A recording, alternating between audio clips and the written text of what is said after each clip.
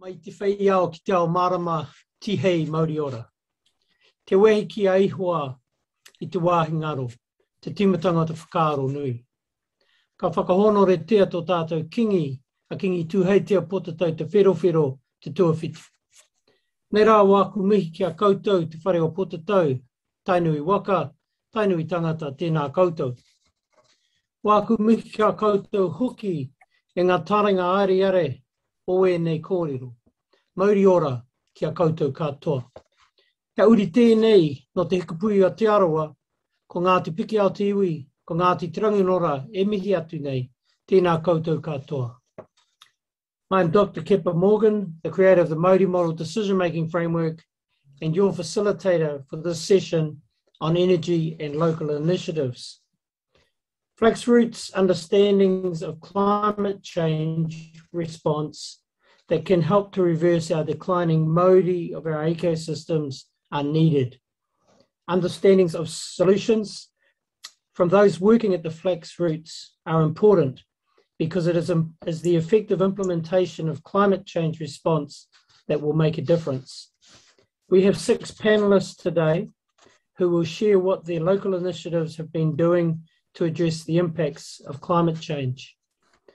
I have asked each panelist to hand over to the next speaker when they finish, and after their contributions, we will wānanga on the collective insights gained. So over to our first speaker, Mike West, WEL Energy Trust. Tēnā koe, Mike. Uh, Michael West, uh, as Kepa mentioned, I'm the chair of the WEL Energy Trust. Um, and uh, I've been asked to talk a little bit today about the, um, the influence of governance on the uptake of initiatives and climate change responses. Uh, I think the theme being think globally, act locally does uh, lend itself to needing to understand how governance entities can influence that uh, that uptake. Um, the act locally part of it uh, can be broken down into some very small sectors. In my particular instance, the WEL Energy Trust is a entity of its own, but it does own a significant player in the electricity and energy industry, which is WEL Network. So, uh, so just to give you a little bit of a heads up on what the structure of my organisation is, the WEL Energy Trust was set up to own the shares in WEL Networks. So it's 100% owner of WEL Networks. Uh, it has a, a, board of trustees which is elected every three years, and uh, the board of trustees has a, uh, a, governance role to run its own entity under the guidelines put down in the trust deed. Uh, one of the things that the trust deed is fairly uh, strong on is that a core responsibility of the trustees is to ensure that it's the company that, uh, that it owns runs as a successful company. And uh, we've interpreted that to uh, not be just a, a, financially successful company, but also an environmentally and socially successful uh, company. So, so the impact that we have as a governance group within our own entity does flow on to our ownership of WEL Networks. So basically, WEL Networks is our core investment. Uh, as a standalone entity, we also have non-core investments. So also keeping with the theme of uh, of climate responsibility, we we have a significant amount of money under investment, uh, and we insist that those investments are both ethically, responsibly, and sustainably uh, made investments. Um, we're a philanthropic entity, and we have a uh, responsibility to income beneficiaries. We're able to make community grants and impact investments, and by utilising our powers within those uh, those areas, we can have some influence over initiatives that we see as being uh, both worthwhile in terms of how they return financially, but also how they return to the uh, to the greater good of our environment, our community. Uh, one thing I know about um, governance is that it has to be done in a reasonably moderate sort of a way, and it's always controlled by a, uh, a set of rules. In our case, a trust deed. Um, it's important not to be too extreme with your with your uh, direction as a, particularly as an elected trust, as elected representatives. Uh, we're elected every three years, and naturally we um, we do need to meet the expectations of our electorate. And what uh, what we've seen in the past, and probably the future, is if we're too extreme in our in our uh, direction, we will get changed for a, uh, a newly elected trust. So um, we have to have regard to our beneficiaries in in more than just one area. Owning WEL Networks is um, obviously the the area that we can contribute significantly to in the uh, climate change arena. Uh, our own entity, the WEL Energy Trust, is, has a very small carbon footprint. We're a um, just a small office. We've got six trustees, five staff. We don't run a fleet of vehicles. We work out of an office and what have you. However, WEL Networks, uh, although in itself it's not a massive carbon footprint, uh, it does have uh, has some ability to reduce its contribution, um, but it uh, in its role as a network provider, it's able to uh, future proof and to provide support for new technologies that are coming on board, which are much more focused on, on large scale carbon reduction. The uh, exa- couple of examples of, of where we're at. Um, so, first of all, in terms of our structure, we appoint the board of directors for WEL Networks. And uh, the relationship between the board and the trust is one where we have a letter of expectation every year, which is um, works within our, our owner's expectation manual, which is our relationship, our, sort of the formal relationship between the trust and the company. And within that document, we one of the things we specify is a um, is reporting on on carbon emissions and uh, and the like. So we're a little bit limited in, in what we can do. We're not able to provide any influence on the way the companies run. That is something that the directors have to provide. And of course, they are controlled by uh, company law and uh, numerous other uh, requirements the Electricity Authority, the Commerce Commission, and, and various other entities uh, all looking in to see what's going on at that level. In terms of um, how we're so encouraging our company to be a little bit uh, supportive or, or, quite supportive in that um, arena is um, encourage them to invest in, in energy related investments which can provide benefits both financially and have an impact on uh, on climate reduction or climate carbon reduction. Uh, recently, um, WEL Networks purchased a company called Infratec. Now, Infratec is a uh, is a company that specialises in large solar and battery uh, technologies. And they're already using that to uh, put into play an investment in a, a, BESS, which is a battery energy storage system. So it's a, a large scale battery. The particular one that they're uh, going to invest in shortly is 33 megawatts. And what that will do is it will have the ability to to take electricity from uh, uh, generation sources that are um, uh, renewable, uh, wind and solar, and then store them to be used at times when there are uh, high demands on the network. Um, in addition to that, the company has just uh, through it through Infratec, its subsidiary, has just received a contract to build a solar power station for a company called Lodestone Energy, which is um, basically going to be building solar generation, which will service around 55,000 households. So that uh, that's an area where the company is is lending itself to supporting infrastructure or supporting the the ability of uh, the generation of renewables without actually being in the market itself. Um, from its own perspective, the company has undertaken a few initiatives. For instance, its uh, um, EV electric vehicle uptake is, is um, it's a, got a program when it replaces vehicles. It looks for EV options. Unfortunately, in some of its fields, there's no electric uh, vehicles that are able to be sourced because they're just not being made. One of the initiatives it, it has done is it's converted a lot of its uh, um, sort of bucket vehicles, which are the big trucks that go out on the road and and the and the workers uh, go up in the elevated buckets. Uh, previously, they used to be operated by the diesel motor of the truck that would run and power the hydraulics so they could be working with it. Now they have upgraded them so they can drive them to the sites and they can turn the engines or turn the motors off and run with electric uh, powered hydraulics. So just just small initiatives like that, which are sort of within their uh, well within their capacity, but mostly from the larger scale, they are doing it by way of, of um, future proofing and supporting the uh, the change in how we're generating power. All right, so that's all from me for now. I'd pass on to Andrew. Right. Um, okay. Uh, ready to start. Uh, my microphone. Thanks, Mike. I am Andrew Bidder. I'm an architect. I build lifestyles, I build communities, and I build for the future. My track record includes the 2020 Master Builders Award for the country's most sustainable house, so I am making a real difference. Today we are talking about energy, so my focus is on how buildings use energy.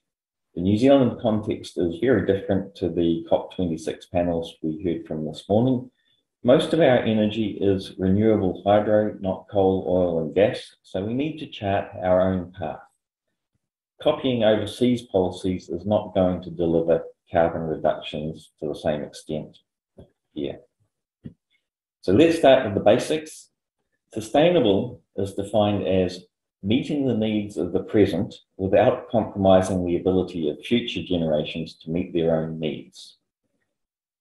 Applying this to buildings, we can see that any new building that can be used by future generations is therefore, by definition, sustainable.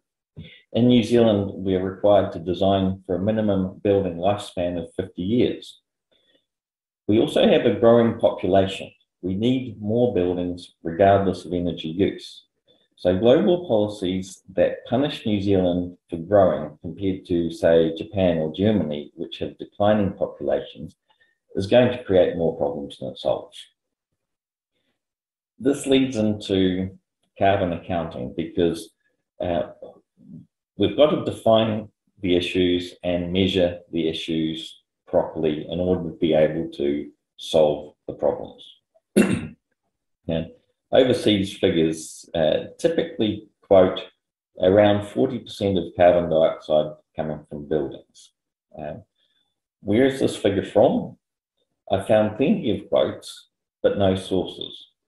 The New Zealand context where our electricity is from hydro uh, means that that 40% figure is wrong for New Zealand. If we stick with that sort of thing, then we are going to end up driving bad policy as a result. This is why understanding at a deeper level is important. Uh, when we look at a factory that uses a lot of energy to make something, is it the factory building or the product that is using the energy. In reality, we have to look at who is the carbon end user. And an example of this would be a factory making solar panels. It might be using a lot of energy as a building to make the solar panels. Is the factory good or bad?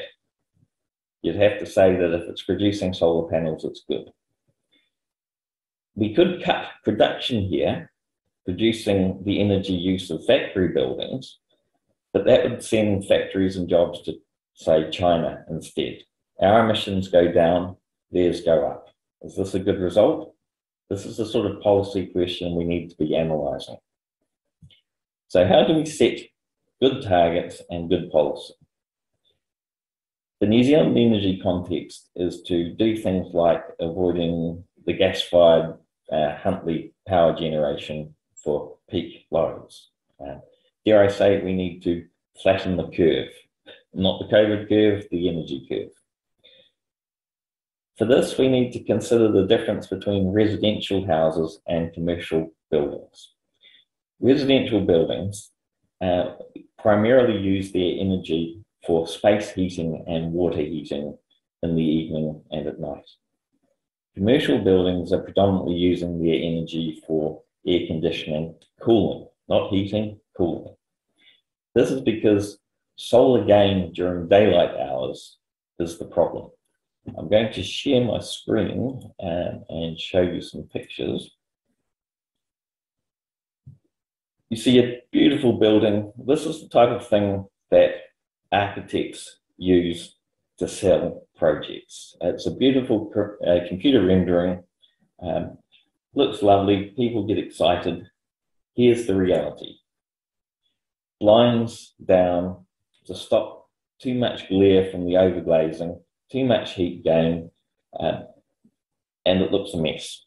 Blinds are a good low energy solution, but it is not the image that was sold to the client. Here is some good architecture. Shading is integrated as a design feature. It adds value. And I'll stop here. And uh, just to pause for a moment as I get my, my guide back on. So other considerations apart from just shading are things like roof reflectance. Painting a commercial building's roof white so that reflects the solar gain um, will reduce the heat buildup. And our industrial buildings in particular tend to use metal roofs. Um, if we paint it white, we can reduce the conduction of heat from the outside to the inside. We can also add more insulation. In this case, it's to stop uh, heat gain from outside the building as opposed to residential where we're stopping heat loss from inside the building. We can look at natural ventilation of offices, more efficient air conditioning plants, solar panels on the roof for immediate use, because if it's being used during the day, unlike residential, it does not need storage for evening use, and battery storage is a problem. So, how do we drive good policy? Some options are legislation, building codes, incentives, the only answer is education. Legislation and codes simply complicate things. There are too many different users, too many different needs, too many localized environmental requirements. For instance, I'm currently designing a medical centre where parts of the building need filtered air. They cannot have natural ventilation. So people need the knowledge to decide for themselves. That's the core policy driver education, not control. There is no need for incentives because good decisions that save energy save money. That's it for me. I can pass on to Gareth.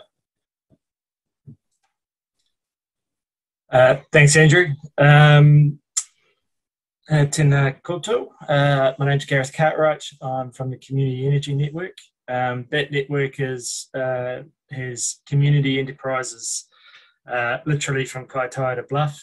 Um, the network's been around for about 20 years, and over that time, uh, my members have probably done in the order of 300,000 healthy home assessments and um, probably around about 120, 130,000 uh, insulation and heating retrofits, primarily through the Warmer Kiwi Homes program. But uh, uh, a number of other uh, providers there have, uh, or partners rather, have allowed us to um, do that work.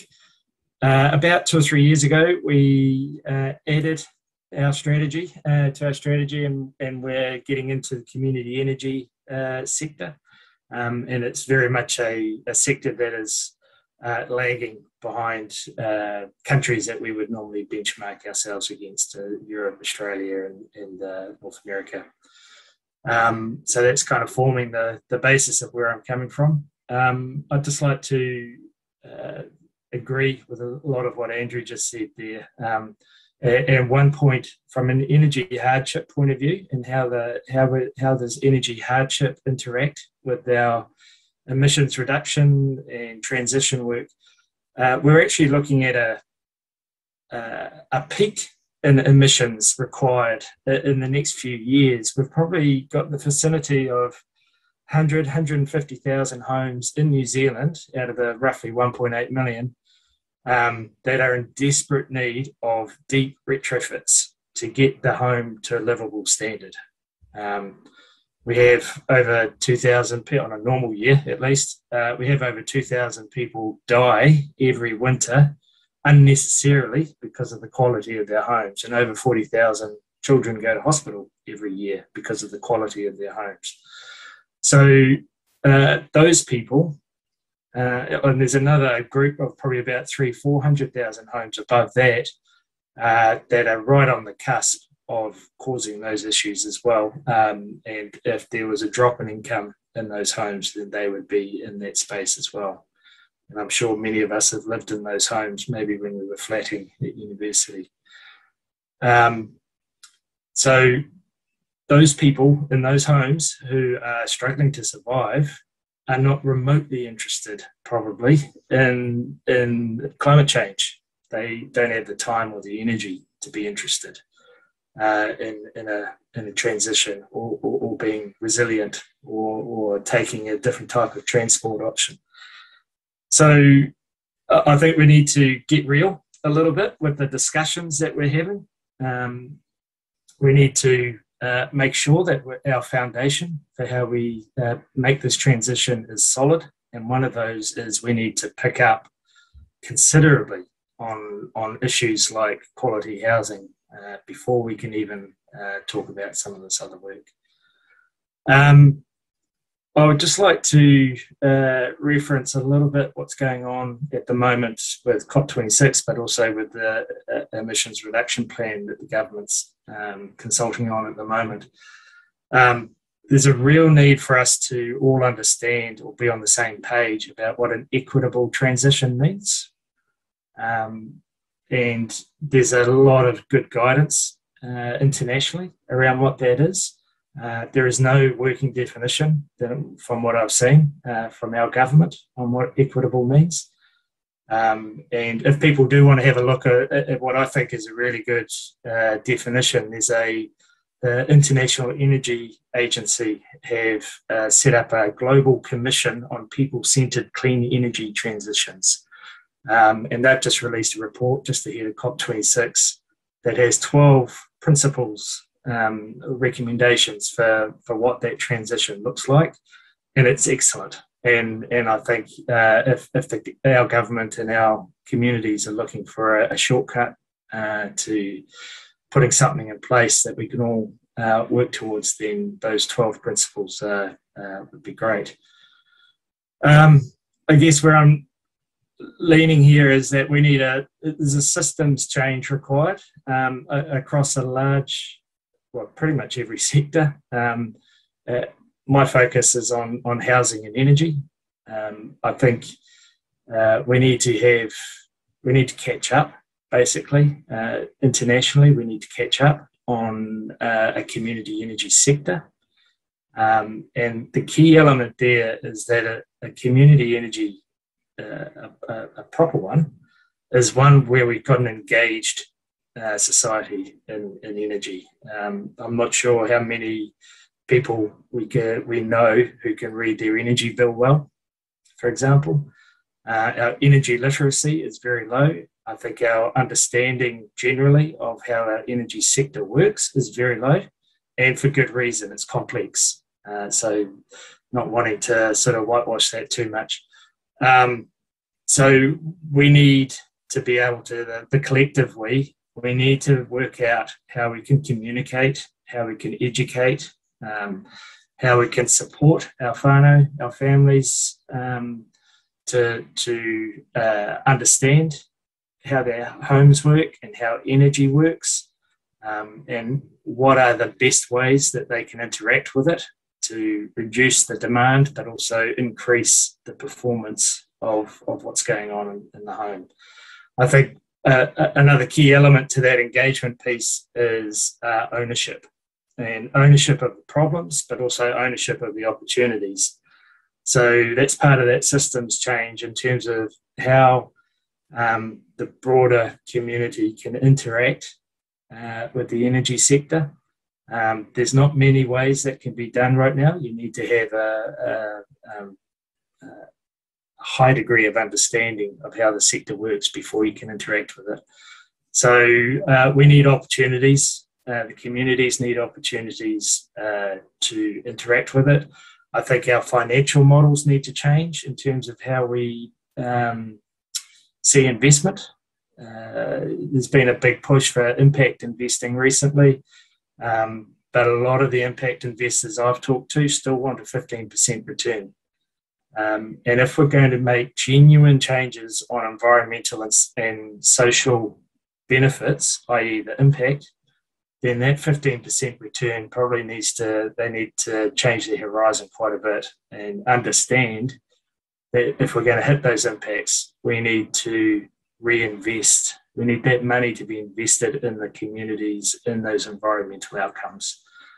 Um, so I think there's a there's a big push here required by government and by local government. Um, but I'm also quite keen on the idea that communities demand those solutions uh, to be led locally as well. I think uh, it needs to both be flex roots and top down at the same time. Um, I think that's the only way we're going to get the the uh, the speed, the urgency that we that we desperately need.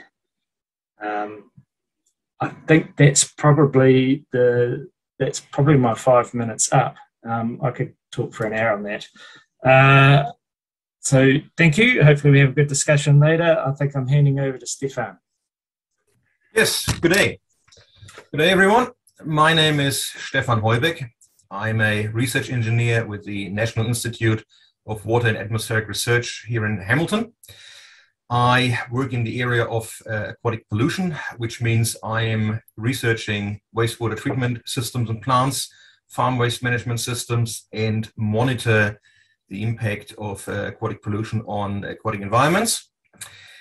And um, I want to um, you know, take up the discussion here a little bit, uh, broadening the focus and uh, basically uh, focus your attention a little bit on the fact um, that everything is connected in the world of energy and greenhouse gas emissions, and that we have a monumental task in our hand in those uh, remaining 30 years uh, till 2050. Um, the one of the core issues is that um, energy and greenhouse gas emissions are sometimes hidden uh, sometimes they hide in plain sight. Other times they're they're really hidden and, and really out of sight, out of mind. Um, we heard a lot about um, electricity, renewables um, from previous speakers, and uh, quite often this is um, simplifying energy to mean only electricity. Uh, whereas electricity is one area of interest, it is, a, is an important one. We need to make uh, greenhouse gas progress in the electricity area, but it's only one subset of the energy sector, which is only one subset of uh, industrial and uh, uh processing uh, greenhouse gas emissions, which is again only a subset of overall overall uh, greenhouse gas emissions. And maybe to illustrate the magnitude of the problem we are faced with, um, I can I hope I'm allowed to throw a few numbers around.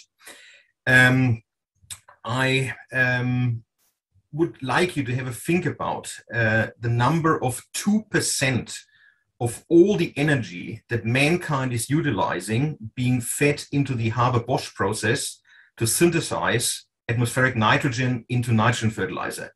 Um, most of you probably have heard about um, nitrogen fertilizers, but not about the uh, enormous energy requirements uh, that, that, that, are fed into these processes.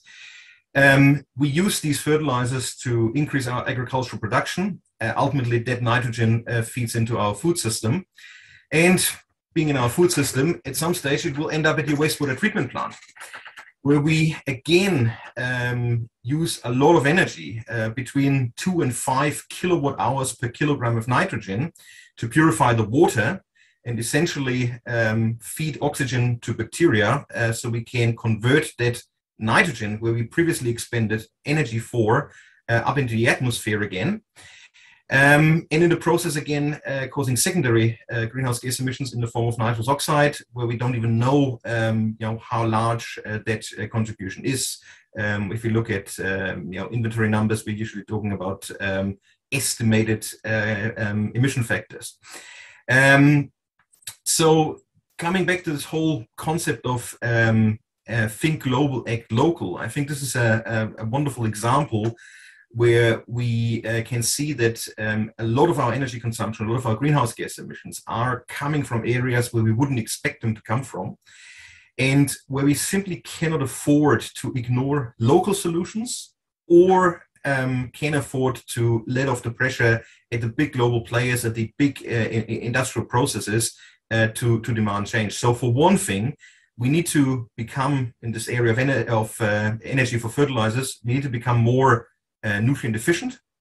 Uh, we need to use less of it. We need to think about um, getting um, renewable energy sources at an industrial scale fed into those uh, existing processes, be that uh, green hydrogen, be that uh, biogas, be that biomass. But even more so, we need to think at the local level of uh, how can we um, um, you know, minimize this um, craziness going on that we first expend energy to fix nitrogen and then expend more energy to unfix it again.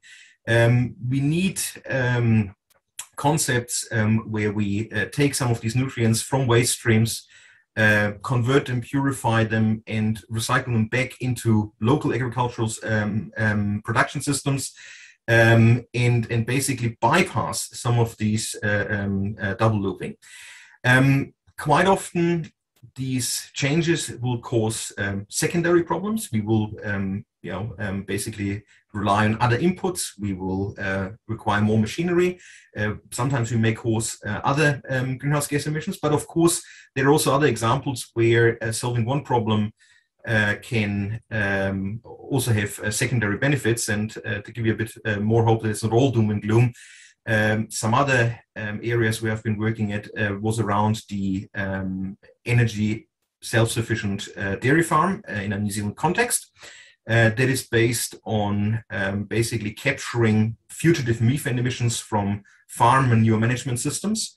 Uh, we have a couple of uh, example sites uh, from Waikato down to uh, Southland, where we have uh, dairy farms that basically have retrofitted quite simple systems to capture methane emissions um, from their farm um, manure management systems, from the effluent ponds. Um, and uh, they capture this methane, they run generators, they generate uh, hot water, and um, basically for the larger farms we have, uh, achieving 50, 60, 70% energy self-sufficiency um, is possible.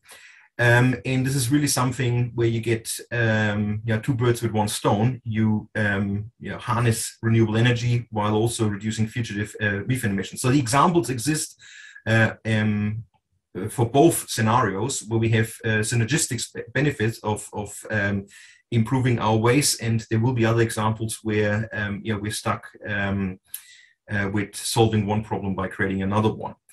Um, lastly, I, I just want to want to say that um, 2050, 30 years from now, is a very short time frame and um, because of that short time frame to reach greenhouse gas neutrality, um, we cannot afford to uh, exclude any options and to um, uh, descend into turf wars. We cannot dismiss uh, localized small scale initiatives like a solar panel on your roof, like the partially energy self sufficient dairy farm, uh, like a you know district nutrient recycling system. Um, we cannot afford to, uh, to, dismiss this. At the same time, um, people at the grassroots level, uh, people in government, cannot um, afford uh, to uh, demonize and exclude uh, whole industries. Um, we cannot afford to expand uh, all the raw materials, all the skills, all the knowledge we spent uh, building up a fossil fuel industry. We cannot ignore that completely. It is about reusing uh, some parts of it, reusing the skills, reusing the talent in those industries. for example, um, in New Zealand, we've decided to um, um, um, end the production of fossil natural gas. Um, correct step. Um, we, we cannot uh, afford to um, pump more petroleum products out of the earth and, and uh, um, keep on uh, emitting fossil CO2. Uh, but that begs, begs, the question what are we doing with our uh, natural gas pipeline system? we have the technology, we have the resources to produce biogas and uh, reuse some of these um, um, assets that we already have um, and hopefully come to a greenhouse gas neutral or n- lower greenhouse gas scenario that way faster than by excluding uh, uh everyone and, and uh, descending into turf wars and trying to rebuild a utopia from scratch, for which we certainly don't have the time and certainly won't have the resources, the natural resources, nor the talent for. So um, yeah, I just want to leave you with that thought and um, yeah, pass on to Holly. Uh, kia ora, thank you, Stefan. Um, tēnā koutou katoa. I'm Holly Snape. I'm from Community Waikato. We work with community and social service organisations across the Waikato region and we support them to strengthen organisational capacity. We facilitate networks uh, and community conversations and we provide training and development to the sector. So I'm going to talk from a community perspective today. Uh, I want to make it clear I certainly don't speak for all community, but I'd like to share some of my thoughts based on my observations of being involved in the community sector at both the governance and operational level for the last 20 years or so. I was also really excited by what Gareth was saying and his kōrero. I certainly think um, that reflected our observations in the community and social service sector too. I think for many local communities, there's recognition that climate change is a significant global issue, but the reality of responding with tangible, tangible solutions can feel um, quite out of control for low income and marginalised communities. There can be a tension between members of low income communities meeting basic needs and prioritising environmental outcomes. Jane Goodall has said it really well when she said to fix the environment, you need to fix poverty. And this is a reality for many of our communities the incentives to re reduce emissions and move to uh, sustainable or cleaner energy sources are targeted at people with financial means to access them. So, what I mean by this is many of the solutions proposed provide incentives for those who can afford them, but penalties for those who can't. So, for example, the government's proposed some excellent incentives around those purchasing EVs.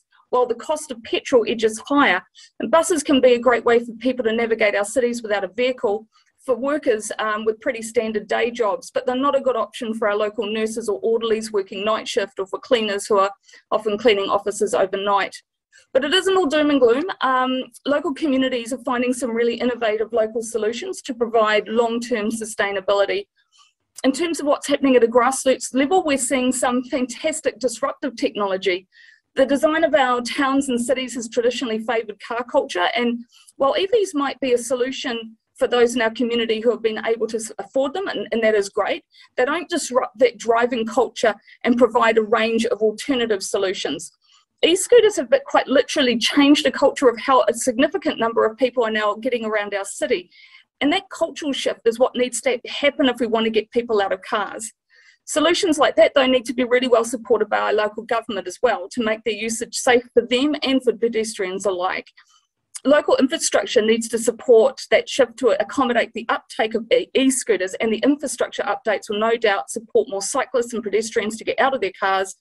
However, if we even look at the reaction to the Living Streets trial that we had um, on a couple of roads in Hamilton recently, the evidence um, to the pressure businesses and drivers put on local government to continue prioritising that car culture is, is of a concern.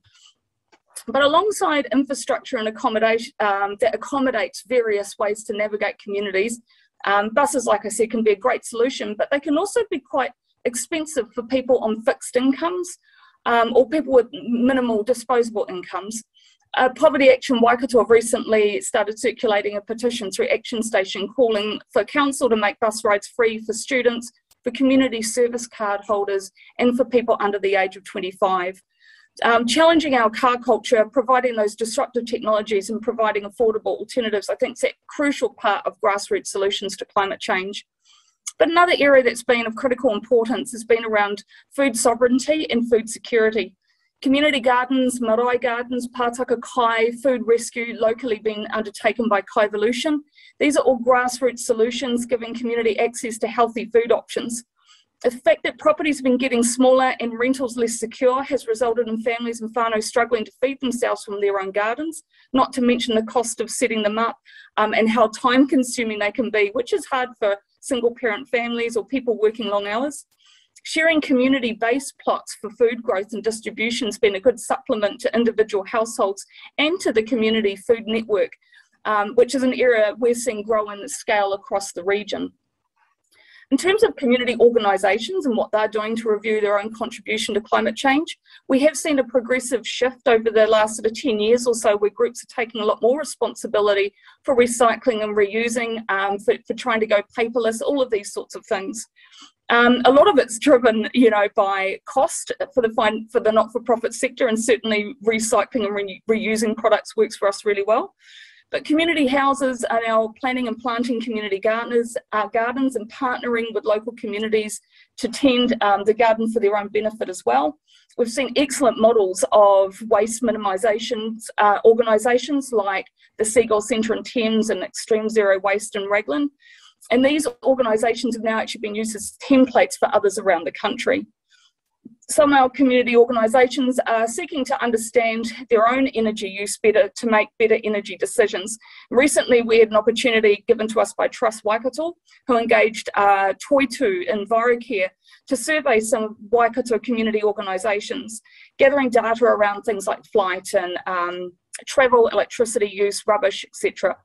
And then Toitu provided a report that demonstrated the patterns of energy use.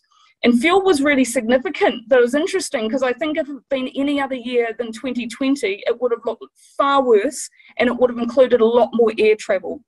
Um, but of course, we couldn't do a lot of that uh, in 2020. But the evidence, regardless, was still really clear that the way our organisations individually and collectively use vehicles in particular is a real problem. Those findings are driving conversations now about what we might be able to do as a sector to reduce fuel consumption and demonstrate leadership in that space it looks like you know sorts of things we're, we're talking about a shared fleet of electric cars possibly a partnership with a company is like a lime scooter equivalent with electric cars maybe making better use of public transport certainly ride shares hubbing all of these sorts of things. The reality is that data that has given us insights um, into the extent of the issue and that can help drive some of those innovative solutions so finally, I think um, local communities absolutely must be part of the solution to climate change. But it's essential to consider how we take everybody with us. Addressing issues of food security and transport needs are fundamental to being able to bring people along on a journey of change. If people's primary needs are met, they can start to consider what is beyond their immediate need. And if the solutions also align with more affordable alternatives to the older energy heavy ways of living, then we will actively engage these communities in the fight to address climate change. Um, that's me. I'm going to pass back to you, Kepa. Kia ora, thank you, Holly. Um, and thank you to our other um, panelists, Mike, Andrew, um, Gareth, and Stefan.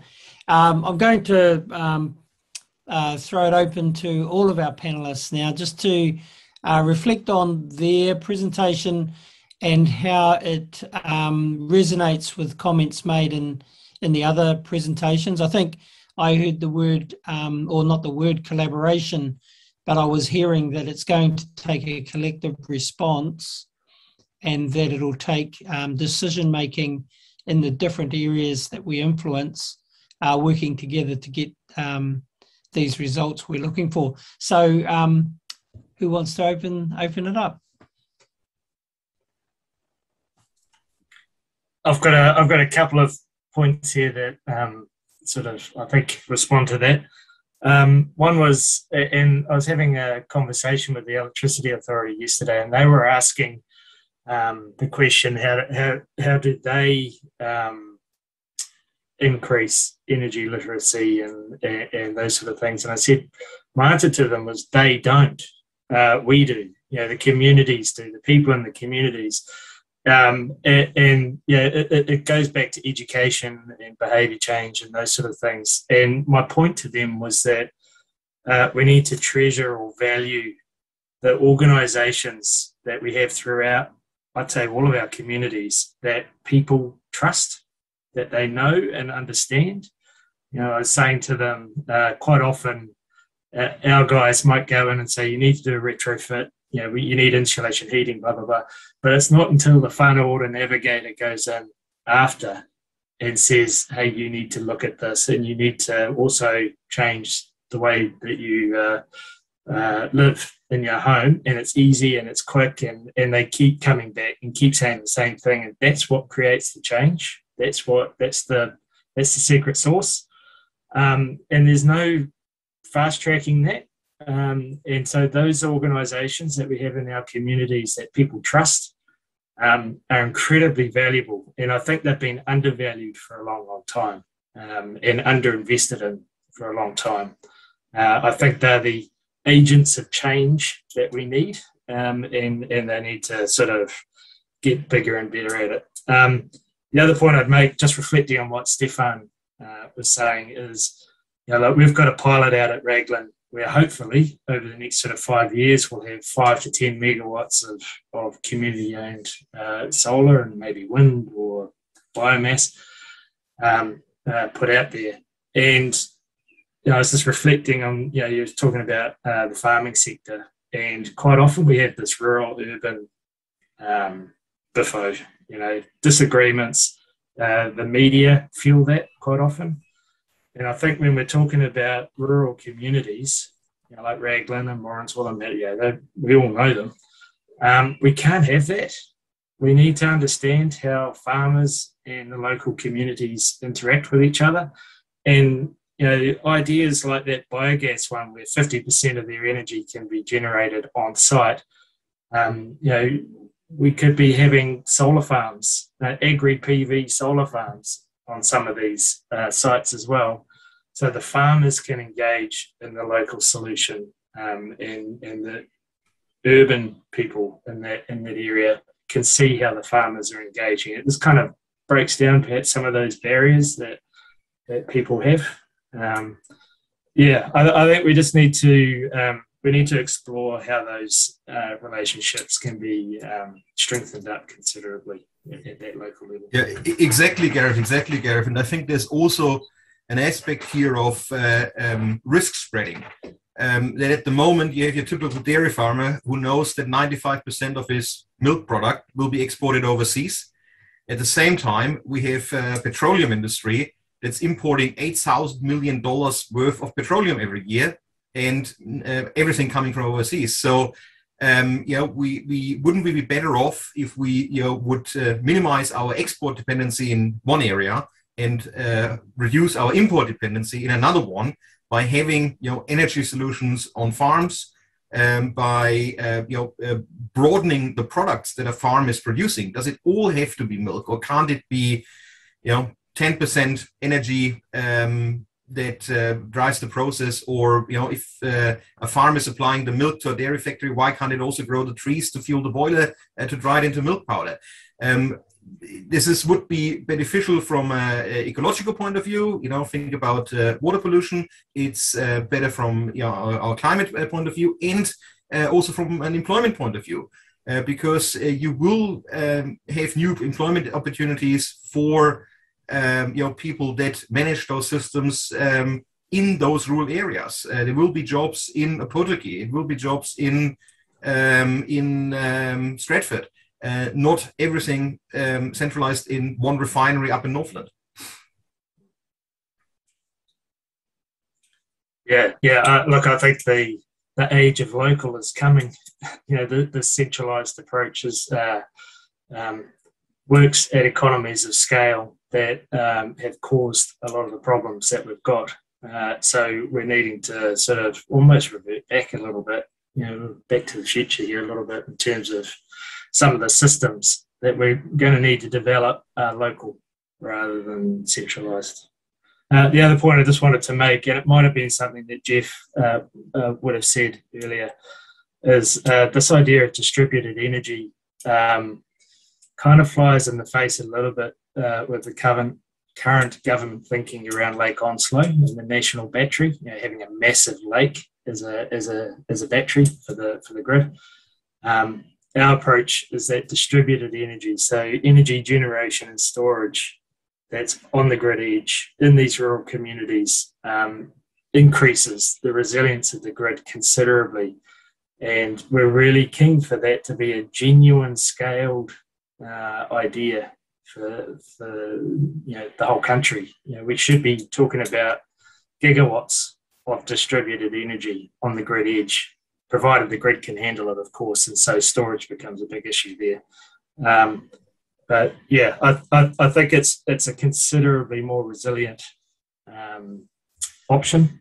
And I think resilience is the is at risk of being an overused word like sustainability. I think it's going to be fairly critical for us to um, get our heads around what that means.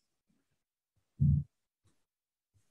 think one of the um, one of the issues around storage, uh, particularly electricity storage, if we're looking at batteries, for instance, is a lot of the uh, the economic model that's needed to support batteries is the energy trading uh, schemes, and um, they start to fall over when the amount of storage uh, grows. It's obviously a supply and demand type of a thing. So um, naturally, uh, you know, in a situation where you've got uh, you know directors running companies, they're looking making at making investments.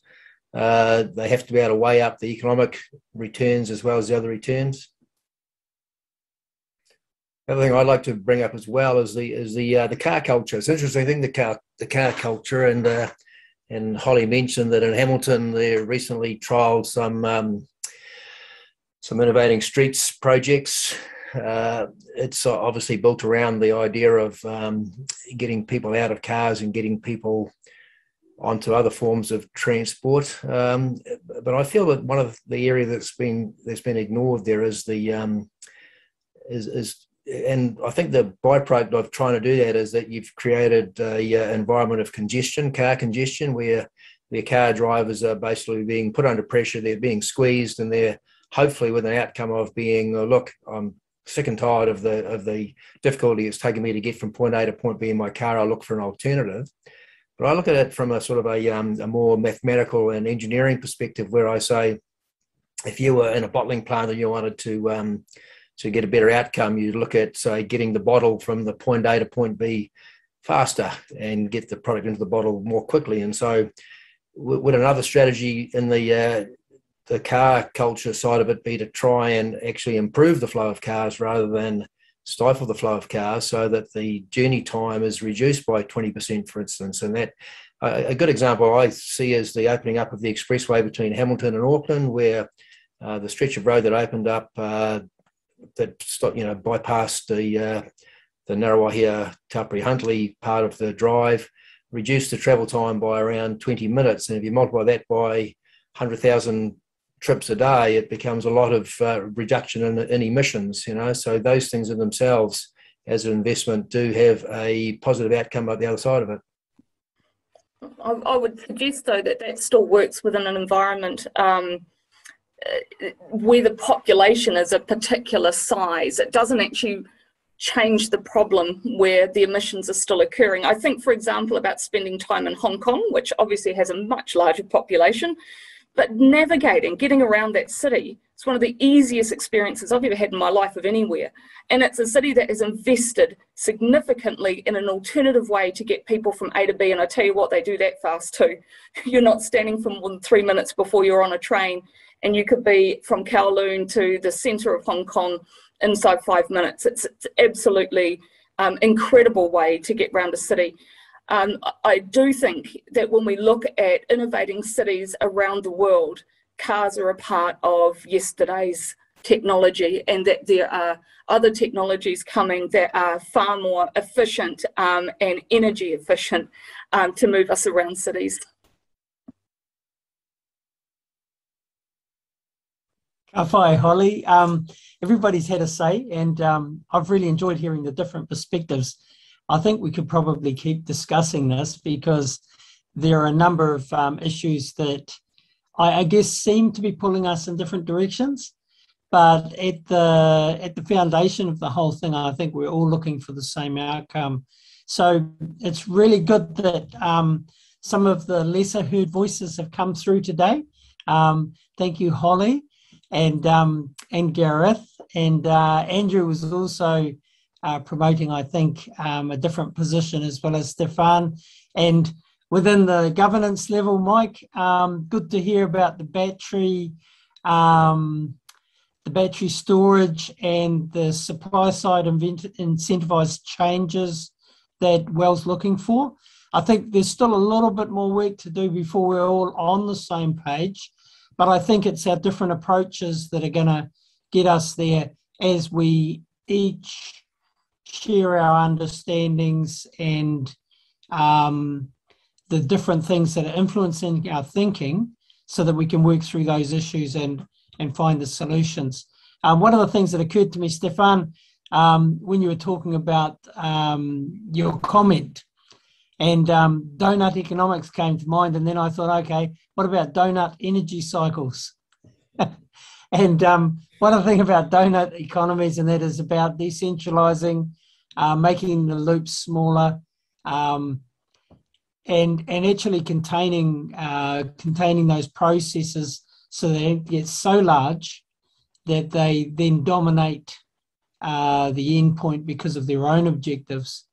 But um, thank you, everybody. I've I've enjoyed um, hearing your different perspectives, and um, it's seemingly quite an eclectic um, group of opinions.